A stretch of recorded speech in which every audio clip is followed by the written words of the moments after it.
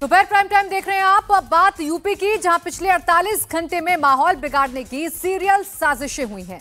एक नहीं दो नहीं तीन तीन शहर से एक तरह की खबरें आई जिसके बाद मुख्यमंत्री योगी को कहना पड़ा पाताल तक ढूंढ लाऊँगा सुधार कर रख दूँगा।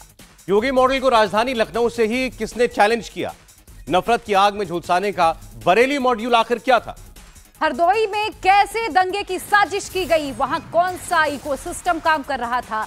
अलग अलग शहरों में ऐसा क्या हुआ कि जिसने योगी को टफ एक्शन के लिए मजबूर कर दिया? इस रिपोर्ट में देखिए।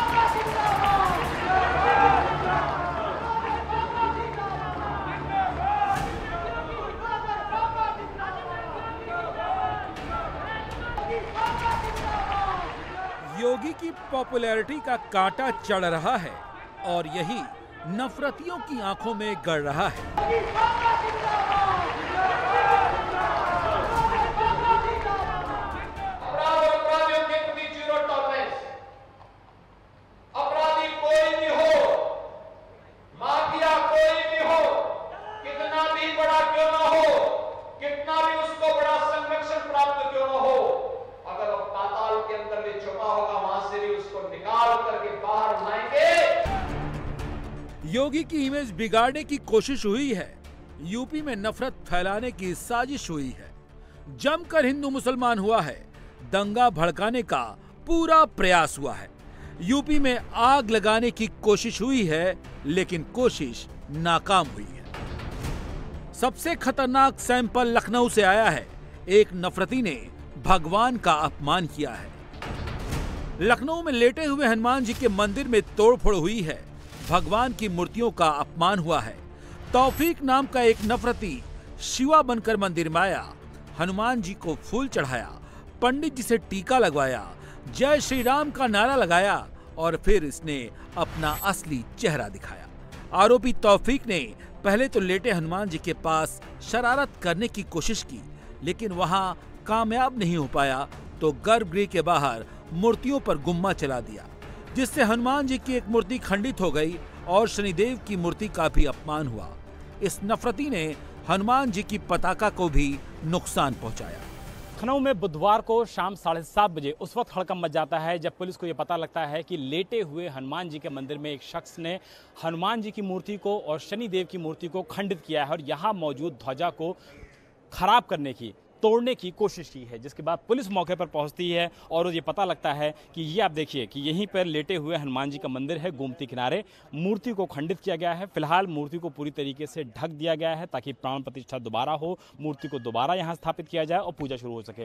ठीक बगल में आप देखिए शनिदेव का मंदिर है। शनिदेव के मंदिर में भी जो मूर्ति है, उनको भी खंडित करने की यहाँ पर कोशिश की गई। बड़ा सा गुम्मा अद्धा चलाया गया और इसको भी तोड़ने की कोशिश की गई। जिसके बाद आरोपी जो तौफीक अहमद है, वो यहाँ से भागने की कोशिश करता है लेकिन उसको पकड़ने में मंदिर प्रशासन के लोग कामयाब हो जाते हैं। पता ये चलता है कि जब आरोपी यहाँ आता है तो जय श्री राम के नारे लगाता है, टीका लगवाता है और अपना नाम शिवा बताता है। लेकिन जब उसकी पिटाई होती है तो उसके बाद निश्चित तौर पर वो यहाँ पर अपनी सही पहचान बताता है और सबसे पहले वो लेटे हुए हनुमान जी के मंदिर में जब प्रवेश करता है तो आकर के गर्भगृह में लेटे हुए हनुमान जी के मंदिर में दर्शन करता है। किसी को शक ना हो, इसके लिए प्रणाम शिवा बताता है, माथे पर टीका लगाता है, जय श्री राम के नारे लगाता है। और सबसे बड़ी बात यह है कि यहाँ दर्शन करने के बाद जब वो बाहर जाता है, लेटे हुए हनुमान जी के मंदिर के दर्शन करने के बाद तो उसके बाद वो अपनी पहचान गलत बताता है। पिटाई होने के बाद सच सामने आता है और प्रशासन के लोग यहाँ पहुँचते हैं। ट्रस्ट के जो लोग हैं वो हमारे साथ मौजूद हैं। सर, कैसे आप लोगों को शक हुआ कि वो तौफीक है, शिवा नहीं? सबसे पहले वो यहीं गर्भगृह में आया था दर्शन करने। यहाँ पे उसने जय श्री राम का नारा लगाया। गर्भगृह में आप देख रहे होंगे, यहाँ पे दरवाज़ा हम लोग लगा रखा है, इसको लॉक कर देते हैं, जिससे हर आदमी अंदर ना जा पाए। तो पंडित जी ने उसको टीका लगाया, उसने जय श्री राम का नारा लगाया, यहाँ उसने देखा इधर उधर, लेकिन यहाँ कहीं उसको जगह नहीं मिली। फिर बाहर हमारे शनिदेव भगवान बैठे हुए हैं, और हनुमान जी हैं पताका के नीचे, वो गुम्मा लेके गया, और उसने, अभी तक अपना नाम वो शिवा और शिवम ही बता रहा था सबको। जब उसने तोड़ दिया, लोकल जो हमारे पंडित जी और यहाँ के जो स्थानीय लोग हैं, उन्होंने जब नाम पूछा तो उसने शिवा शिवम बताया। उसी समय हम लोगों को खबर लग चुकी थी, हम लोग तुरंत भाग के आए। और स्थानीय पुलिस को खबर की एसीपी महोदय यहाँ मौजूद थे उस समय। जब उन्होंने उसको दो चाटे मारे तो उसने अपना नाम तौफीक अहमद बताया। लेकिन सवाल यह है कि इसने ऐसा क्यों किया? क्यों तौफीक शिवा बनकर लेटे हनुमान मंदिर में आया? क्या तौफीक को किसी साजिश के तहत मंदिर में भेजा गया? क्या यूपी में दंगा भड़काने की साजिश रची गई? क्या योगी की कानून व्यवस्था की इमेज को खराब करने की कोशिश हुई? थाना चौक क्षेत्रांतर्गत लेटे हुए मन, हनुमान मंदिर परिसर में एक व्यक्ति द्वारा दो मूर्तियों का को क्षति पहुँचाया गया है। उस व्यक्ति को तत्काल मौके से गिरफ़्तार कर गहराई से पूछताछ की जा रही है। सुसंगत धाराओं में मुकदमा पंजीकृत कर कार्रवाई की जा रही है। मेडिकल परीक्षण में नशे की हालत में होना भी पाया गया है। सभी एजेंसियों द्वारा बहुत गहराई से हर पहलुओं पे जाँच की जा रही है। सख्त सख्त कार्रवाई सुनिश्चित की जा रही है। जैसे ही ये खबर बाहर पहुँची, पूरा माहौल गर्म हो गया। पुलिस तौफीक को नशेबाज बता रही है, लेकिन मंदिर के लोग इसे सोची समझी साजिश बता रहे हैं। जब वो नशे में था तो अपना नाम शिवा क्यों बता रहा था? अपना नाम तो सही बता सकता था? एक तरीके से आप तो स्वयं पत्रकार है आप ये जानते हैं कि किसी भी चीज़ को जब इम्प्लांट किया जाता है तो उसके छोटे छोटे बिंदुओं को देखा जाता है।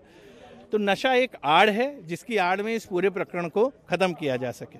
साजिश आपको लगता है कि बड़ी साजिश प्रतिशत साजिश है क्योंकि पास में ही यहाँ पर बुढ़वा मंगल पर कार्यक्रम हो रहा था हिंदुओं का जिसमें करीबन डेढ़ से दो हज़ार व्यक्ति थे। और इधर पास में ही मस्जिद में मजलिस का कार्यक्रम था, जिसमें लगभग हज़ार व्यक्ति थे।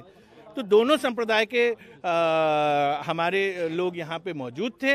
बीच में ये मंदिर है यहाँ पे अगर कोई कांड होगा दोनों तक हवा जाएगी और एक ये भयंकर कांड का रूप में तब्दील होगा और प्रदेश के गौरव को ठेस पहुंचेगी। प्रदेश के गौरव को ठेस पहुंचेगी और इसको देखते हुए हिंदू संगठन के जो तमाम लोग हैं वो फ़िलहाल यहाँ पर पहुँच चुके हैं अपना विरोध प्रदर्शन करने के लिए पहुँच चुके हैं और उनका कहना है कि जब तक इस पूरे मामले की जो साजिश है साजिश से जब तक पर्दा नहीं उठता है तब तक ये प्रदर्शन जारी रहेगा सांकेतिक प्रदर्शन भी किया जाएगा। बहरहाल लखनऊ पुलिस ने आरोपी को गिरफ़्तार कर लिया है और उससे सख्ती से पूछताछ की जा रही है कि पूरे मामले का सच क्या है, लेकिन लेटे हुए हनुमान मंदिर में जिस तरीके से माहौल खराब करने की कोशिश की गई, पुलिस की सजगता और जो यहाँ पर मंदिर प्रशासन के लोग हैं, उनके द्वारा अगर आरोपी को न पकड़ा गया होता तो शायद लखनऊ में इस समय माहौल खराब चुका होता।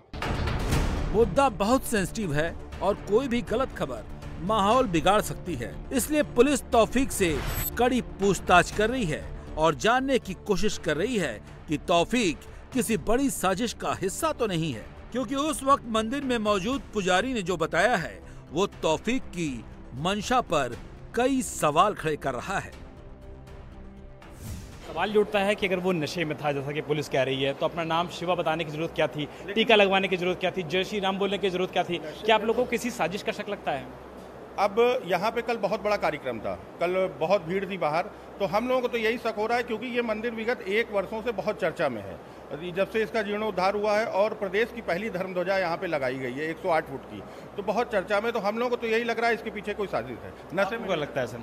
बिल्कुल साजिश का ही हिस्सा है क्योंकि जो पुलिस बता रही है नशे में वो तो पुलिस का अपना अपना पहलू है। इतनी सीढ़ियाँ आप देख रहे होंगे उतर करके आना फिर यहाँ दर्शन करना उसके बाद गुम्मा उठा करके मारना ये नशे की हालत में कोई नहीं अंजाम दे सकता। पंडित जी यही थे कल यहाँ पे? पंडित जी, कल आप मौजूद थे, यहाँ पर जो आरोपी आया, जिसने यहाँ पर गुम्मे से ध्वजा तोड़ी, हनुमान जी की मूर्ति को नुकसान पहुँचाया, क्या यहाँ पर उसका आपको देख के लग पाया था कि वो तौफीक है और शिवा नहीं है? जैसे वहाँ से तेज़ी से ही चिल्ला रहा था, पंडित जी पंडित जी, हम नीचे आए, बाथरूम करने गए तो वहाँ से लौट के आया फिर कहा, पंडित जी, हमारे टीका लगा दीजिए। टीका लगा के आया था फिर हमसे भी टीका लगवाया। उसके बाद वो मूर्ति छू रहा था, हमने मना किया, मूर्ति नहीं, दूर से ही दर्शन करिए। उसके बाद फिर अपना बाहर चला गया, दर्शन के फिर उधर किया, उधर फिर जब दोबारा ऊपर जाके देखे, तब गुम्बा लेके शनिदेव में तोड़ रहा था उसके पहले ही हनुमान जी की मूर्ति को तोड़ चुका था। लगा था कि वो नशे की हालात में है यार सही से बात कर रहा था। सही से बात कर रहा था नशे की हालात में हमें नहीं लग रहा था वो। पंडित जी हैं, लेटे हुए हनुमान जी के मंदिर के, उनका कहना है कि वो पंडित जी पंडित जी बोल रहा था, पहले से टीका लगा के आया था, अंदर भी उसने टीका लगवाया, जय श्री राम के नारे लगवाए, लेकिन जब पुलिस यहाँ पहुँचती है, ट्रस्ट के लोग यहाँ पहुँचते हैं, उसकी पिटाई होती है, तब पता लगता है कि वो शिवा नहीं है, बल्कि तौफीक अहमद है, जिसके बाद पुलिस ने इस मामले में आरोपी को गिरफ़्तार कर लिया है, लेकिन ट्रस्ट के लोगों को लगता है कि अगर वो नशे में था, अगर वो नशेड़ी था तो अपना नाम क्यों छुपा रहा था, जय श्री राम के नारे क्यों लगा रहा था, टीका क्यों लगवा रहा था, यानी कि इसके पीछे एक बहुत बड़ी साजिश थी। लखनऊ के हनुमान मंदिर में एक नफरती ने माहौल बिगाड़ने की साजिश की। तो हरदोई में मस्जिद में नफरतियों ने शरारत की। मकसद दोनों का एक है, कैसे यूपी को नफरत की आग में धकेलना है। हरदोई के सांडी नगर के मोहल्ला नवाबगंज में ये मस्जिद है, जिसके मेन गेट पर बीती रात नफरतियों ने गेरुआ रंग से जय श्री राम का नारा लिख दिया। सवाल सीधा है, किसी को मंदिर में मूर्तियाँ खंडित करने का हक किसने दिया? और सवाल यह भी सीधा है कि मस्जिद पर जय श्री राम लिखने का हक किसने दिया? इस हरकत का पता तब चला जब सुबह नमाज़ पढ़ने लोग मस्जिद पर पहुँचे। तो गेट पर पेंट से जय श्री राम लिखा मिला। सांडी चुंगी पर जो मस्जिद मस्जिद तंजीम है, इसमें किसी किस्म का अभी तक कोई लफड़ा ऐसा नहीं हुआ। सुकून से नमाज़ होती रही और इमाम साहब और मोजिन साहब, वो भी सुकून से अपने आते रहे, किसी किस्म कोई लफड़ा नहीं हुआ। आज सुबह फजर में जब मस्जिद के मोजिन साहब आए अजान देने के लिए तो देखा गेट के ऊपर पूरा गेट जो है दीवार तक की रंगा हुआ था, जय श्री राम के नारे लिखे हुए थे और मज़बूत पेंट के साथ लिखा गया था। तो उसी वक्त पुलिस को इतला करी गई। पुलिस फ़ौरन आई और उसने जो है मौके पर मुआयना किया। उसके बाद ताला खुलकर सब नमाजी नमाज़ अदा करी और तकरीबन आठ बजे तक पूरा पुलिस महकमा, एडिशनल एस पी कप्तान साहब और C O S D M साहब सब तशरीफ़ लाए। आकर के यकीन दहानी कराई, मुकदमा दर्ज किया। बहुत ही गंभीर बात थी। इसीलिए मस्जिद के लोगों ने तुरंत पुलिस को खबर की। अज्ञात लोगों के खिलाफ तुरंत एफआईआर दर्ज हुई। पुलिस प्रशासन तुरंत मौके पर पहुँचा। अब पुलिस सीसीटीवी चेक कर नफरतियों की तलाश कर रही है। इस संबंध में पुलिस को सूचना मिलते ही तत्काल उसको जो है साफ़ करा दिया गया है और मुकदमा भी पंजीकृत किया गया है। इस संबंध में स्थानीय स्तर पर सीसीटीवी फुटेज वगैरह देखा जा रहा है और सी बी टी एस आदि से भी तलाश किया जाएगा। किसने ऐसा किया है? जहाँ तक इसके किसने किया है या क्या इसकी मंशा हो सकती है, इसके बारे में यह है कि विगत में अभी तमाम त्यौहार रहे हैं। सारे पर्व सांप्रदायिक सद्भाव से निकले हैं। तो ऐसा प्रतीत हो रहा है कि कोई शरारती अथवा विक्षिप्त तत्व जो है, अपने निजी स्वार्थ के लिए ऐसा काम किया है। शीघ्र ही इसको तलाश लिया जाएगा। माहौल बिगाड़ने की साजिश भड़काऊ गैंग कर रहा है। इसलिए सभी को सतर्क रहने की ज़रूरत है। क्योंकि हर तरफ़ नफरती भरे पड़े हैं। बरेली से भी नफरत का एक खतरनाक सैंपल एक लेटर की शक्ल में आया। चिट्ठी में लिखा था, किसी भी जुमे को मस्जिद में बम रखा जाएगा। इस इमाम को निकाला जाए, मस्जिद से दूर रखा जाए। खुर्शीद आलम नहीं निकला तो गोली पड़ेगी। शहर की जामा मस्जिद में बम की धमकी, इमाम को गोली मारने की धमकी ने पूरे इलाके में सनसनी फैला दी। पहले तो मामला हिंदू मुसलमान का लगा लेकिन जब आरोपी पकड़ा गया तो इलाके का ही एक मुस्लिम लड़का निकला। नाम क्या? मोहम्मद समन। पिताजी का नाम नसीम अहमद। कहाँ रहता है? किला जाम मस्जिद कल तूने क्या किया? सर शरारत में पोस्टर चिपका दिया था आइंदा दोबारा वो गलती क्या लिखा था उसमें सर थोड़े बहुत हाँ? मस्जिद में थोड़ा वो करने की और इमाम साहब को निकालने की हटाने के लिए? इमाम साहब से क्यों नाराज़ है तू? सर बोल। थोड़ा बहुत बस।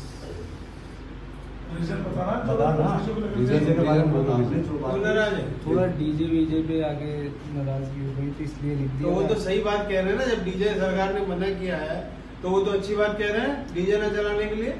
चलिए गलती हो गई सर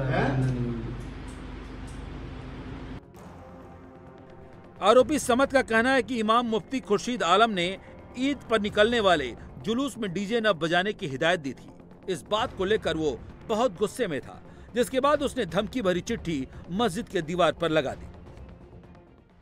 कि मस्जिद अल्लाह का घर है। उसमें बम रखने की बात कहना ये बहुत बड़ी बात है।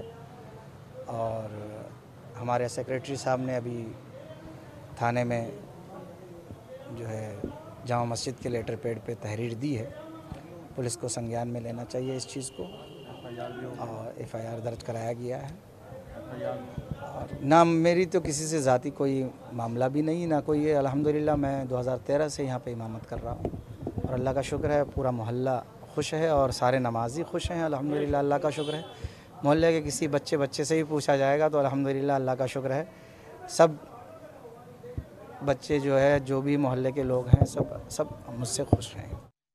इंडिया टीवी, हर वक्त, हर जगह। डाउनलोड करने के लिए सर्च करें India TV news, Google Play Store या एप स्टोर पर।